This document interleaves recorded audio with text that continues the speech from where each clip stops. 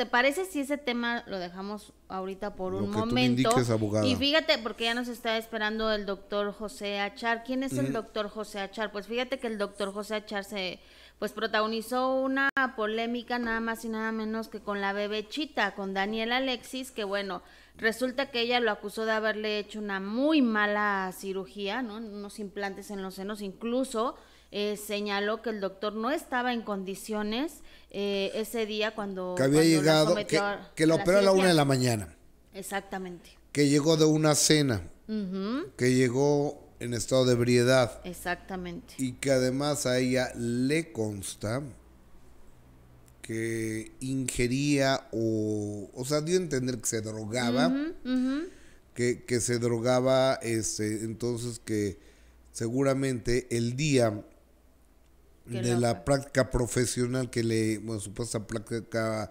profesional que le hizo a ella, llegó en mal estado. Y como tú siempre lo has dicho, la moneda tiene dos caras y siempre aquí hemos tratado de dar el derecho a la réplica y el derecho a que la gente se defienda si es necesario también, Gustavo. Eh, exactamente, y ya lo tenemos, pero está... Al revés. está, eh, do- do- doctor, gíralo a tu derecha, por favor, eh, eh, el teléfono, porque, porque estás de lado, hacia tu derecha, hacia tu derecha. Ahí, perfecto. Ah, ah, ah, Ahí, ahí, ahí, ahí, ahí.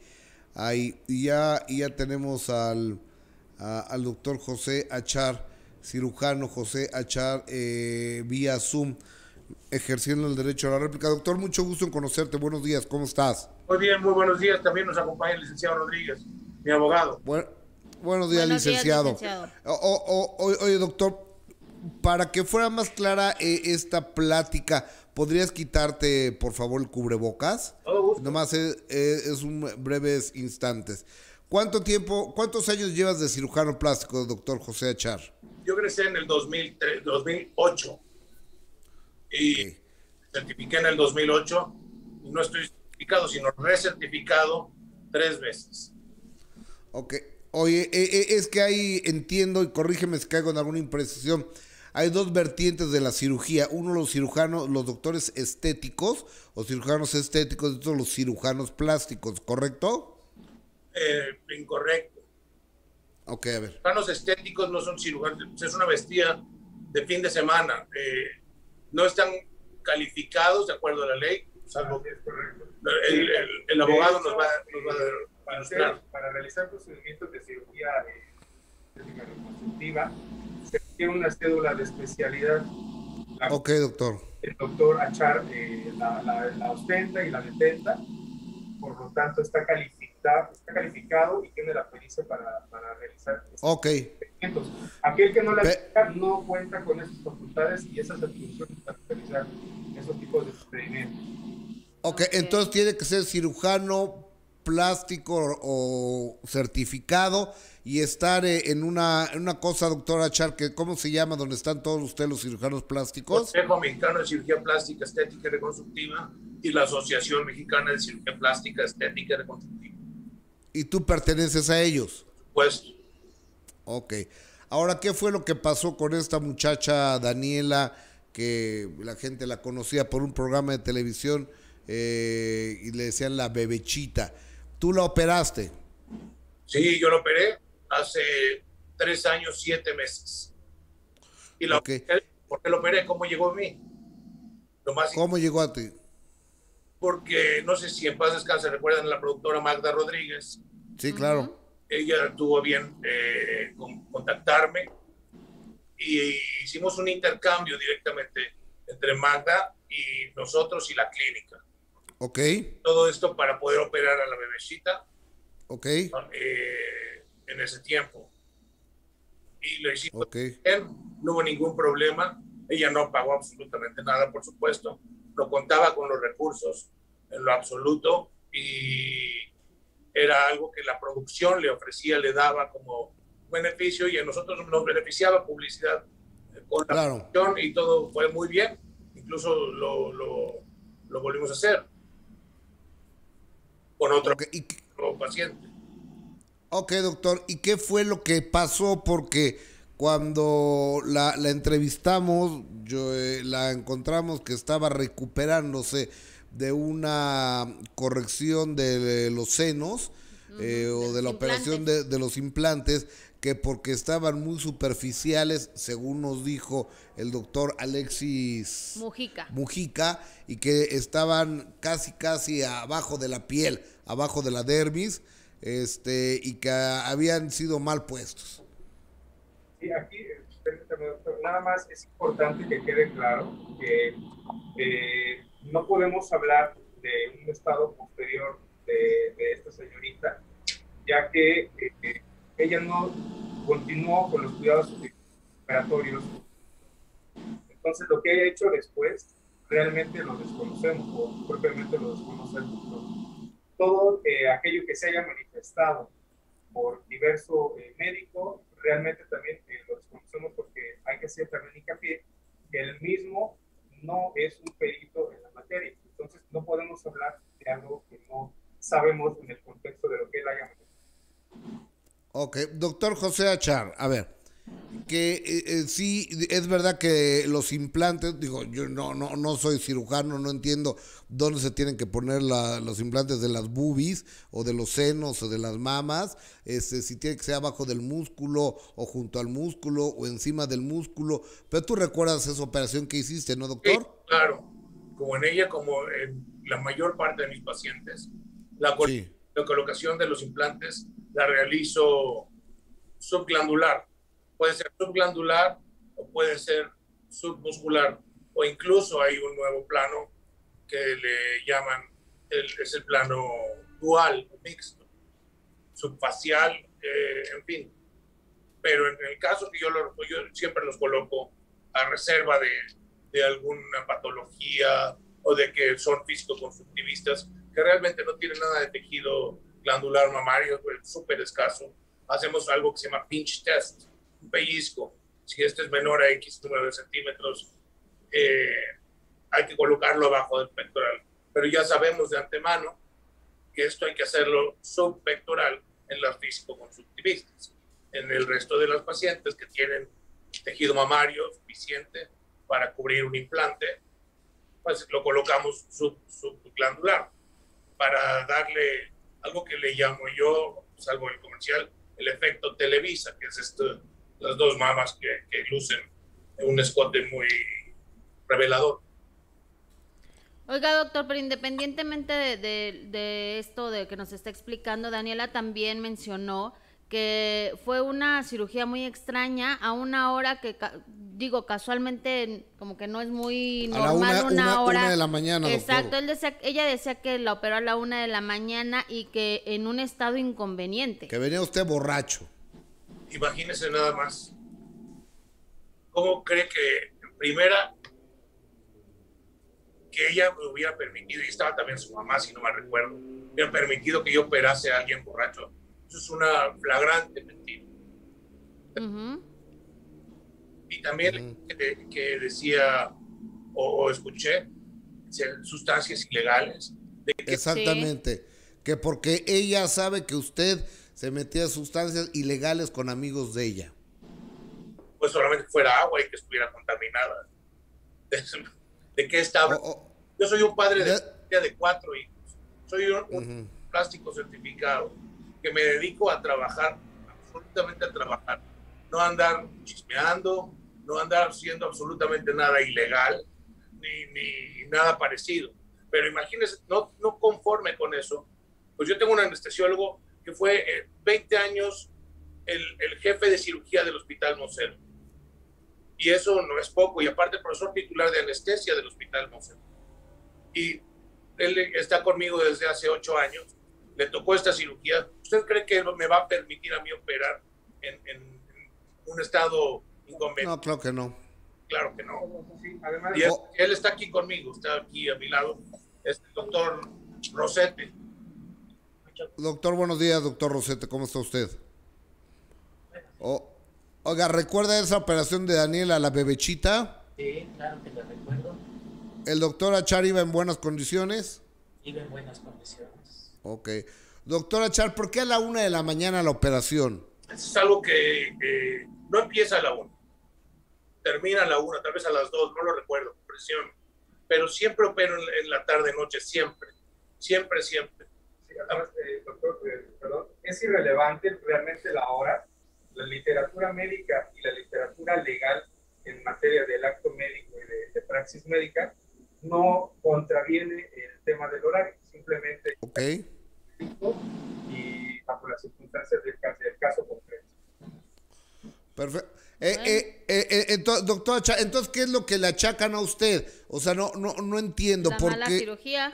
esa mala cirugía, ¿qué fue lo que falló ahí o qué? No, no, no. Pues mire, yo no lo sé porque no lo he visto. Insisto, lo que le achacan es están aprovechando únicamente mi impuesto para eh, a lo que no tiene nada que ver. No, yo qué tengo que ver con alguien que se supone, de acuerdo a lo que publican los medios de comunicación, las revistas, de chismes, de lo que quieran. Incluso el sí. de la alegría, donde va primero que le duele la mama, que le quitan el implante, después que un mes después, y están los videos, que un mes después va y que destruye sus implantes y así está la nota. Y ahora otra vez el, yo le puse los implantes cuando no lo entiendo. No lo entiendo. O sea, el espacio y tiempo simplemente es absurdo, incongruente. Doctor, ¿tomará, ¿tomará alguna acción legal ya que está al lado de su abogado? Eso se lo puede preguntar a mi abogado, sí, claro. Ya eh, formulamos la, la, demanda por daño moral en contra de, de quien resulte responsable, digo, evidentemente, de esta, de esta persona que está o que emitió esos lamentables comentarios. Y también esta eh, demanda va a repercutir en contra de quien eh, resulte responsable, quien siga eh, replicando esta información, ya que no solamente se está dañando el honor, la reputación del doctor, uh -huh. de todo el equipo y de toda la institución que representa el doctor. Ok. Bueno. Pues muchas gracias, doctor José Achar, también a, a, su abogado y a su anestesiólogo. Un abrazo y que tengan un buen gracias. día. Gracias. Le agradezco infinitamente esta oportunidad y le mandamos un abrazo de regreso a la distancia. Muchas gracias. Estamos a sus órdenes, doctor. Gracias, Buenos días. doctor. Muchas gracias. Buen día. Bueno, ejerciendo el, de, el, derecho a la réplica, el doctor José eh, Achar, Achar, cirujano plástico certificado. Uh -huh. Porque ahora lo, todos los cirujanos plásticos tienen una, incluso hay materia ya de demandas en contra de los doctores esteticistas, uh -huh. Porque dicen que, que, no son cirujanos plásticos certificados. Uh -huh. Esa es una bronca que no es el momento de, de meternos en ella, pero el doctor es certificado. Y Daniela mencionaba otras involucradas. ¿Quiénes? Talía, una que estuvo en Acashore, ¿te acuerdas que dijo? Que en una fiesta le había comentado que también habían quedado mal su, mal su cirugía de, del busto, pero bueno, vamos a estar pendientes a ver qué pasa con esta demanda, porque sí fueron unas declaraciones muy fuertes y muy graves de la bebechita. oye, tenemos comentarios de los patrones. Oye, a, la doctora Carolina Sequeira, que nos hace favor de donarnos 2.500 coronas costa, colones, colones costarricenses. Un beso gigantesco, doctora, hasta pura vida, ese maravilloso país de Centroamérica que se significa por tener gente a todo dar, Jessica. Sí, saludos a todos. Y ellos. aparte unos paisajes maravillosos. Sí. Maravillosos. Hay, la gente es linda, las ciudades son pequeñas, hay volcanes, hay selvas, hay playas, uh -huh. y sobre todo hay ticos. Ay, qué padre. Ticos y ticas a quienes mandamos besos, mandamos nuestros cariños y a toda la gente que nos hace el favor de sintonizarnos, de acompañarnos, donde sea. Díganos dónde están para tener esa maravillosa retroalimentación y poderles decir a través de esta transmisión, gracias Chihuahua, gracias Veracruz, gracias Acapulco, gracias Cuernavaca, gracias Estado de México, saludos Los Ángeles, California, saludos Austin, Texas, Miami, Florida, Chicago, Illinois, New Jersey, eh, eh, Culiacán, Sinaloa, Mazatlán, Sinaloa, Monterrey, Nuevo León, mi Guadalajara, Jalisco. Eh, de, ¿Qué nos dice el público? Jessica Gil de Porra. Mi Cuautitlán Izcalli, saludos cordiales. Al, al, hermosísimo Cuautitlán. Este, bueno, mm, no he ido mucho a Cuautitlán, pero sé que es una zona importante habitacional e industrial aquí cercana a la Ciudad de México. Exacto. ¿Qué dice el público, Jessica Jijijil? Porras. Nazaria Covarrubias, buenos días a todos. Ofelia Orozco, buen día, excelente programa. Saludos de Naucalpan. Marsha dice, hola Gus, ya vi el video de la entrevista que te hizo Cristina en Palante. Pero ¿en dónde lo encontraron? Me- oh, No, no lo pueden mandar, por favor. ¿Al chat se puede mandar? Hoy- ¿Huesos? ¿Sí? A ver, que dice, el, hue- dice nuestro ingeniero el Huesos, que si lo pueden mandar al chat sería maravilloso. Sí, para verlo. Oye, Silvia Javier, saludos desde Francia. Qué buena onda, ¿eh? Luis Landeros, buenos días a todos. Patricia Aguirre, desde San Diego, los saludo, chicos, a darle que es viernes. Ana Armenta, buenos días. Los veo en una hora, en la hora que desayuno. Luis Landeros, Gustavo, Jessy, saludos. Eh, Tortillita Pascualita, Jessy, tu playera que usaste durante el convivio con Gus de corazón enamorado. Luis Landeros, muy romántica? Jessy, con su atuendo de corazón. Sí, está, está bonita esta, ¿eh? Consejera criticona, me gusta la blusa de Jessy, muchas gracias. Fíjate que sí, ¿eh? Sacando Sí, está, está juventud. o sea, ya está muy vieja para blusas, no, ¿o no, no, claro que no. Ah, Claro que no, hay personas mayores ¿qué, qué? que usan ese Ah, tipo de ropa. ok. Eh, Mina García de Cogüeta, Georgia, USA. Eh, Susana Granados, saludos desde el Ana estado de Hidalgo. Muy cerca de ustedes, Marta Barrientos. Eh, yo están todos los. Ah, est- está en YouTube donde están todos los programas de Cristina Ah. Saralegui. A ver si lo buscamos, no Mar, ese, ese programa de Pa' Adelante, ¿no? De mi querida Oye. amiga, la señora Cristina Saralegui. Clau Trigo, saludos de Los Cabos. Ah, qué rico. Lilibet, saludos de donde se hace el festival de Coachella en California. Es Indio, California, donde se hace Coachella, ¿no? Entiendo. Eh, es lo que entiendo, nunca he andado por allá. Yolanda Villegas, saludos desde Los Ángeles. Chayito Medina, aquí en Culiacán. eh, me, ha me ha tocado y las operan en la madrugada y salen bien. Pues sí, yo creo que, pues no es que no sé. O sea, yo no... Como, Ya, ya lo dijo el... el- como últimamente yo no he hecho cirugías plásticas, Oye, pero sí, yo recuerdo este doctor salía mucho en el programa de Enamorándonos, precisamente por este acuerdo o intercambio que tenía con la doctora, con la doctora, con la productora Magda Rodríguez y a todas las operó, ¿eh? a varias del programa. pues está bien, mira. Yo, A varias. Yo, eh, eh, eh, es que me vuelvo a lo mismo. El otro día hablando yo con Krasovsky, que es muy amigo mío, Jorge Krasovsky, me estaba diciendo que sí, que hay una bronca con los médicos esteticistas que no pueden hacer operaciones. Pero acabo de conocer una doctora esteticista que vino a hacer unas menciones a, a mi programa de primera mano y ella me, me dice, pues lo que necesitas es una, una operadita de párpados. Entonces, pues ya, ya no sé si, si sea correcto operarse con O un sea, médico. que de párpados que te quitan la piel que ya tienes colgada de Pues yo creo. Yo creo que porque parezco chino, es que siempre parezco chino. No, no lo tienes tan colgado. No, no sé, eso, me- eso me dijo, pero, pero no sé. Pero con lo que acaba de decir ahorita el doctor Achar, que es un curso de fin de semana que toman, Ajá. Pero es que está complicado, entonces si te quieres operar, ¿a dónde vas? ¿O, A o ver, cómo puedes con un elegir? médico cirujano, entiendo. Porque, por ejemplo, este cuate Ángel del Villar, Ay, no, no, no. Te fuiste a los extremos, Gustavo. o, o sea, creo que No, no, ese no era doctor, ni cirujano, ni esteticista, ni nada. eh, eh, él era Exacto. carnicero de Sí, la no, gente. No, no, no, no. Y luego aparecía este cuate vestido de Irma Serrano. Sí, yo me acuerdo.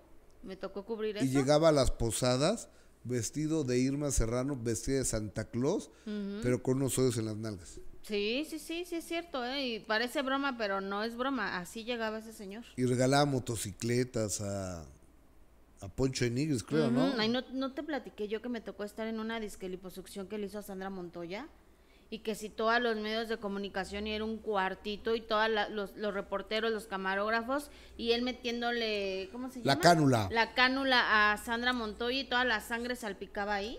Y les caía a los reporteros. pues estábamos ahí, Gustavo.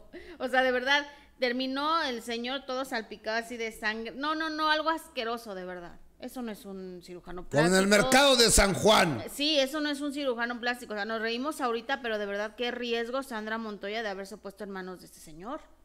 ¿No? Y nosotros ahí, imagínate, metidos en el cuarto con ellos.